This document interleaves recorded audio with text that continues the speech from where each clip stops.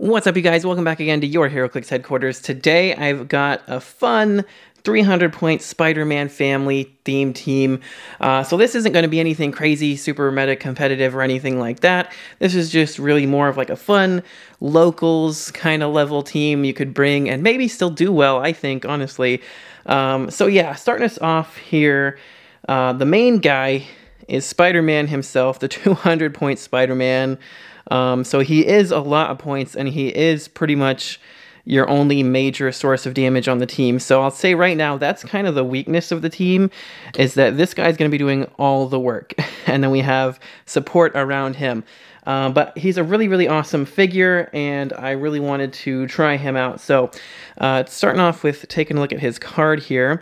Um, and also, one thing I wanted to mention about this team is it is very like new player friendly in the sense that you really just have this one figure to worry about, and then positioning of your you know supporting figures. Um, and then it's also a very cheap, you know, a very cheap team. It's very wallet friendly because um, this is the most expensive figure on the team by far. Everything else, there's one other pretty cheap super rare, and the rest is all commons and uncommons. So uh, for that reason, I think this team is also very great. You could easily throw this together uh, if you just got a few packs. Uh, maybe you had to trade for this guy or something like that. But anyway, without further ado, uh, this Spider-Man here has this wall crawler trait. He's got leap climb, free, place this character in a square of different elevation within four squares and line of fire. Uh, so the cool thing about that is because this is a theme team, you'll get plus three to your roll for map, which means you have good chances of actually picking a map with lots of elevated terrain, so he can be zipping around a bunch. Uh, then he has traded toughness and willpower, so that gives him a little more durability, and the willpower really helps him to keep going every turn. Uh, so he starts with 8 movement with a special movement power, 4 range double target, 12 attack super strength, 19 with super senses, and 4 damage with probability control, uh, as well as a Spider Man team ability. So he gets a plus 1 to his super sense rolls, so that means he's got 50 50 chance already of dodging everything. And don't forget that toughness comes in handy if he, you know, misses the super sense. Also, a 19 with prob is really hard to hit as is. Um, and then you have the super senses on top of that and the toughness if all else fails. Uh, but then the, that starting movement power gives him flurry and hypersonic speed. And when Spider Man uses hypersonic speed, he may instead make up to two close attacks. Uh, so the really cool thing about that is normally you can't use flurry with hypersonic speed because hypersonic speed gives you a regular attack, close or range with half range. Um, however, flurry needs a close action, which you can combo with charge, but not with hypersonic. So that's why this special hypersonic is really nice. It lets him use uh, make up to two close attacks while you know hypersonicking. Uh, so very awesome. Uh, definitely ups his damage potential a whole bunch, uh, which is really necessary on this team because, like I said, this guy is the main damage dealer. Then he's also got a stop click with regeneration, super senses, and safeguard outwit, which means his whole dial uh, stop is already protected outwit, but safeguard outwit gives it to his whole dial. So that is nice. Um, and yeah, he's got three of those stop clicks throughout his uh, 11 click long dial. So uh, this guy is a really, really hard to get through. You know, like I said, multiple layers of defense. You already got the 19 super senses, hard enough to hit that in the first place. Um, and even if you do hit that, he's got 50 50 chances of dodging it. And if you do hit that, he's got toughness to absorb some of the hit.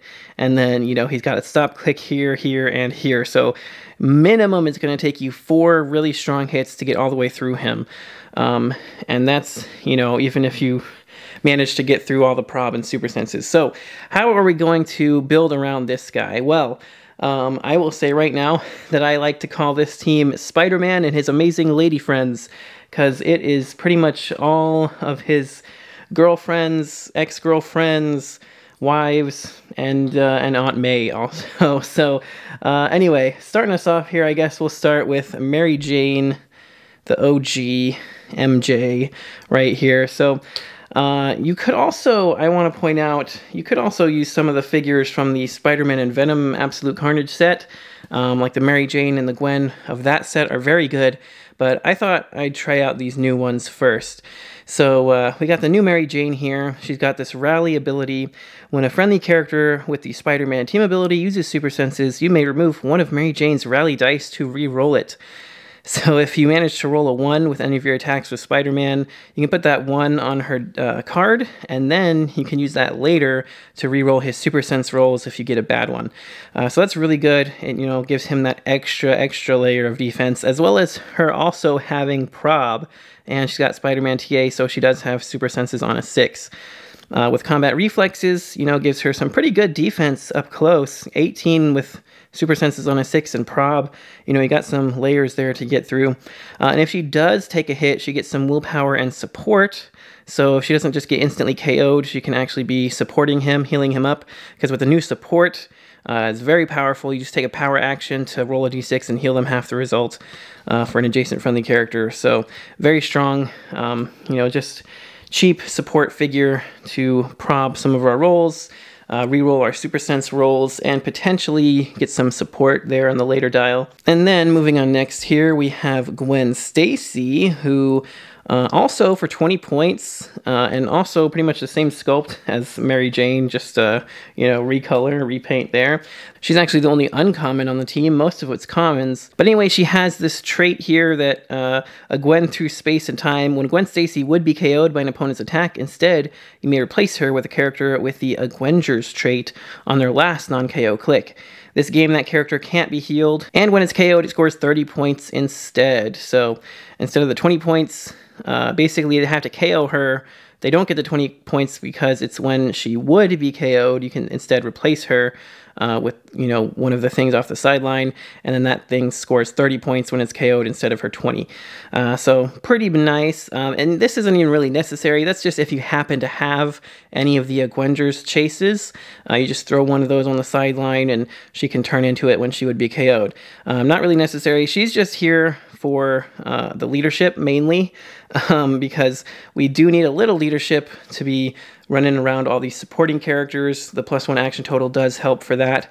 And uh, yeah, just keeping her near Spider Man, uh, adjacent to Spider Man if possible, to potentially roll leadership and take a token off him is going to help us out a lot. Uh, because again, he's pretty much our main damage dealer here.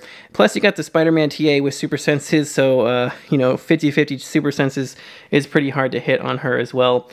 And anyway, uh, moving on next, one of my favorites for the team is Black Cat, and uh, we're playing her at the 20 point line. And uh, yeah, this Black Cat is really something else. So uh, we'll take a look at her card here. She's got a trait that gives her Giant Reach 2, and opposing characters within 4 squares have Safeguard Friendly probability control. That means their friendly characters can't re-roll their rolls, which is really awesome. Uh, it you know really with all the prob that's on this team already, uh, it just makes it that much harder to hit Spider-Man because even if they do hit it, you have like four probs on it, and your opponent can't prob it at all if they're within four squares of this black cat. So that's really powerful. Um, she also has Spider-Man team ability, uh, so she's going to start with 7 movement leap climb, 10 attack precision strike, 17 combat reflexes, 2 damage with probability control for the 20 point line. And if she takes a hit, she'll get some outwit later as well. She's pretty much our best secondary attacker. Uh, with 10 attack, precision strike, and 2 damage with that giant reach as well. Uh, but yeah, she's got the Underworld team ability also, which does give her Passenger 1 to carry around someone she shares a keyword with or passenger two if they're lower points, but you know they're all pretty much the same points, so that's not really going to matter. Uh, but yeah, so she does uh, have the ability to carry one other person around with her, which is really nice. Um, you know, helps free up a, an action here and there. Uh, if you're not really using them for anything else anyway. but yeah, so she's basically our secondary attacker, and just shutting off opponents' probs is super powerful. Um, and then also, speaking about probs, like I said, we've got at least four of them because the only other super rare figure we're playing is Madame Web. And uh, as far as super rares go, she's actually fairly cheap. Uh, last I checked, she's like $10 right now, which is nuts to me because she is actually really, really powerful. Um, so taking a look at her card here, Spider-Man TA and Mystics TA, I'll point that out. Uh, rally for six of opposing rolls. So whenever your opponent rolls a six in their attack roll, you put a die with a six on her card. Uh, she's got super senses, and when a friendly character uses super senses, instead of rolling a d6, you may remove one of Madame Web's rally dice to use it as the result. So yeah, anytime they roll a six against you after resolutions, you get the six on her card, and then you can use that towards uh, just replacing any Super Sense roll you want to make it a six. So all the characters on this team have the Spider-Man team ability. Uh, so even if they don't have regular Super Senses, you can still give them that six and just get an automatic, you know, dodge with the Super Senses, which is really great. Uh, and then she has free, choose a friendly character with the Spider-Man family keyword within four squares. Until your next turn, that character can use improved movement, blocking, and characters. This is a really nice um, to be able to have your Spider-Man hypersonic, you know, through walls, through barriers, that kind of stuff, or even just to have him break away with the hypersonic to ignore characters. Um, and it's also really nice to have your supports be able to break away too, uh, to be able to ignore characters and blocking to move into position better and you know get the probs where you need them basically. And you know if your opponent runs up on you you can run away really easy. So it's a really really nice effect to have. It comes in handy uh, in a lot of situations, really. But yeah, anyway, she's got 2 range, 8 movement with stealth, 10 attack, 18 with combat reflexes, and 2 damage with a special damage power uh, for only 30 points. So she does a lot already with the rally dice. You know, she's got super duper senses from having that there and the, the TA as well. She's got Mystic, so she does get hit. She's dealing some damage right back. And stealth and combat reflexes is a really powerful combo. They can't, she can't be targeted by range. They're going to have to come up close and hit a 20 with super duper senses. And on her special damage power, it gives her probability control. Madam Web can use probability control an additional time each turn, but only to target a character with the Spider-Man family keyword. So that's great. Um, that gives us two probs for our Spider-Man's attack rolls. And if anybody's attacking us who happens to have the Spider-Man keyword, uh, Spider-Man family keyword as well, that means she can prob them twice also, which is really nuts. So um, you got one, two, three, four. He has himself, so that's four probs, five because uh, she can prob him twice. So it gives us all the prob in the world. You know, with a 12 attack on Spider Man, odds are you're going to hit all your attacks.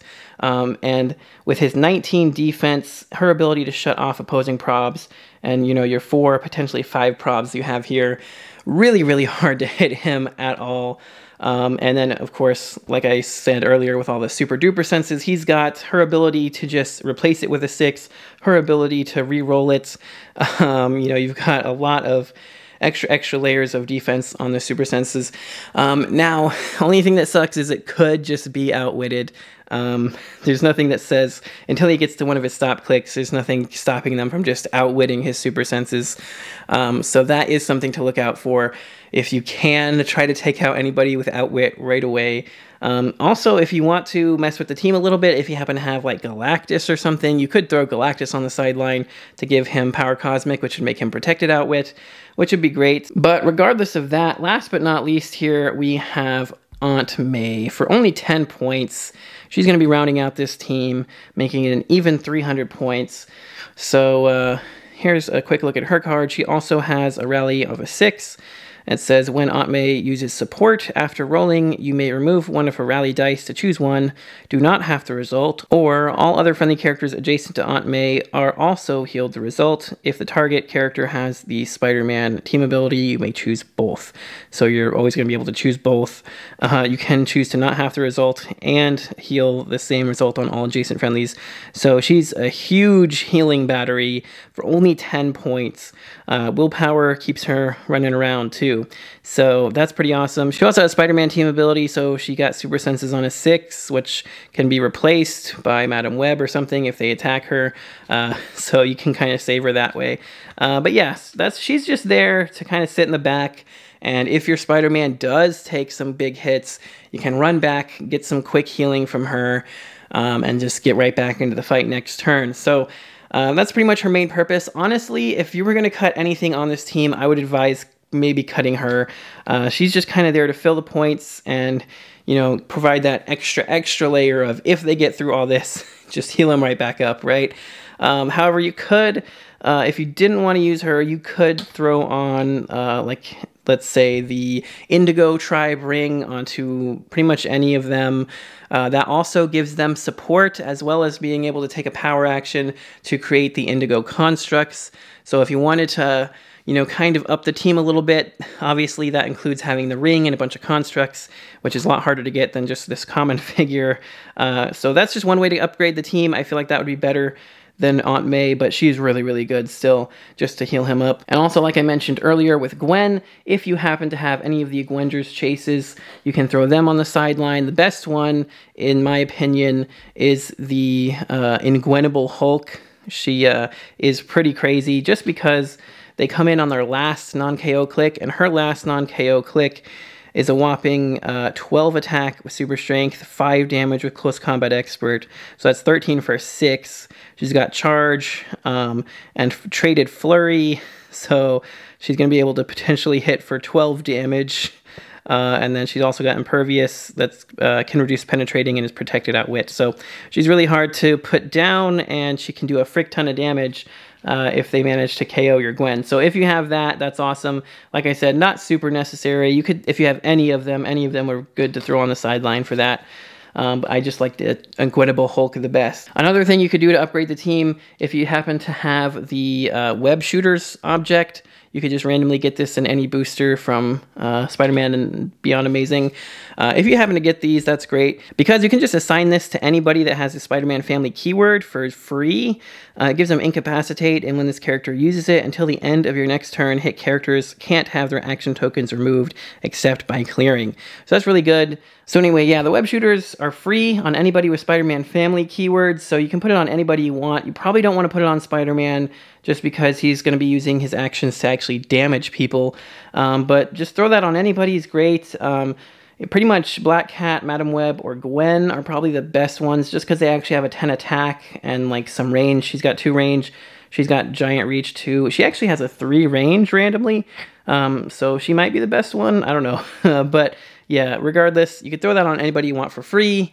Um, so that's an option as well. And another few things you could throw on the sideline too, if you happen to have them, uh, is the Mystery of the Strange Cube. This is a mystery card that specifically comes with Spider Man Noir. So if you happen to pull him also, you could definitely just throw this on the sideline.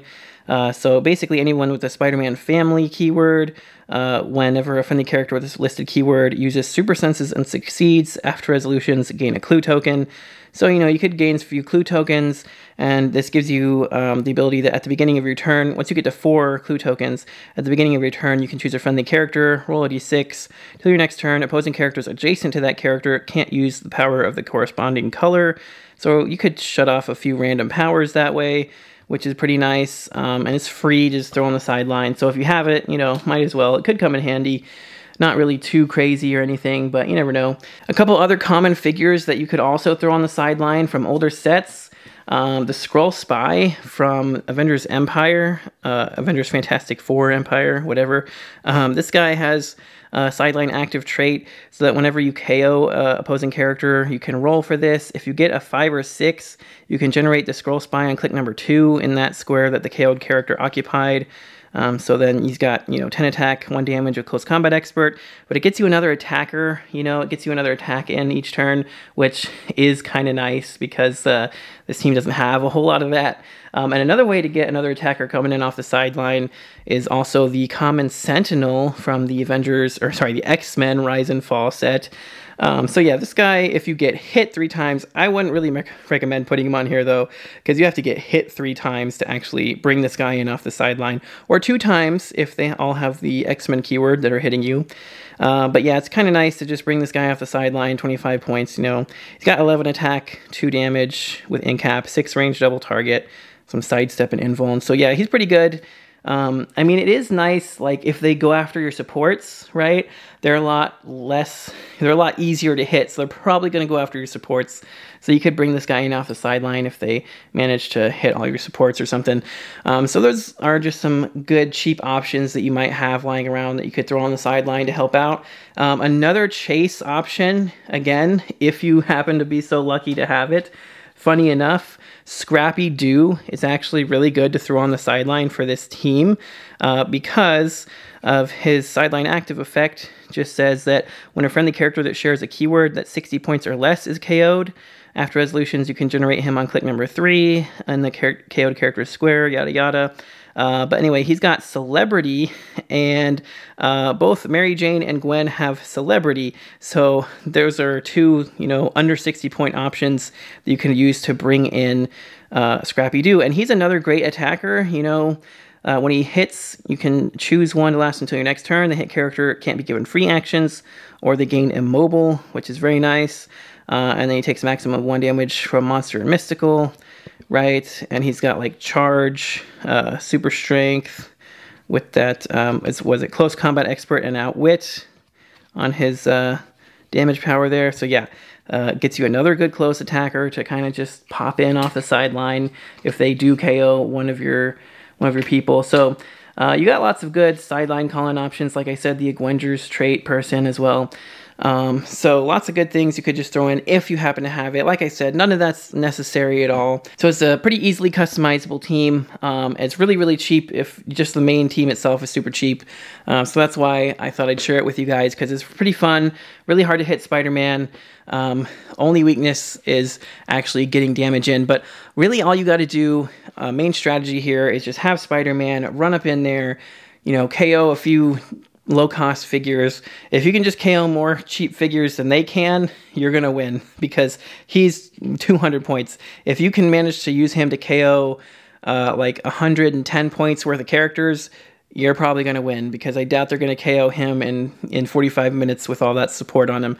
Um, it's not impossible. It's definitely very possible, but it's just going to be really, really hard in your average game. So it's very possible that you could win just by you know, going after the right targets. So anyway, I like this team a lot. Let me know what you guys think about it in the comments below. If you enjoyed it, make sure you smash that like button. It does help me out a lot. But don't forget to click that subscribe button so you don't miss any future videos. And if you'd like to help support the channel even more, check the links in the description for our Patreon so you can see your name here in the credits with all these other awesome people and be entered into our monthly Patreon giveaways for as little as $1 a month. So if that interests you, make sure to check that out. But that's going to do it for this one, you guys. Thank you so much for watching, and until next time, this has been HeroClix Headquarters, signing off you